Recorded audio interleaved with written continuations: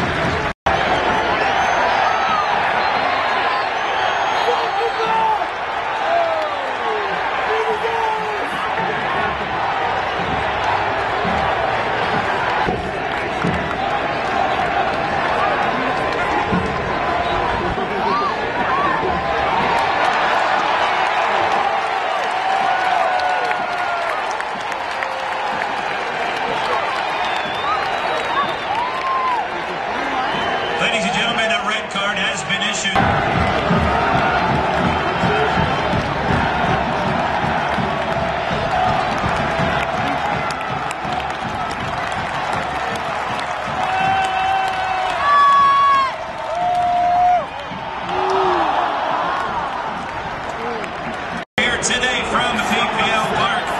The Seattle Sounders do.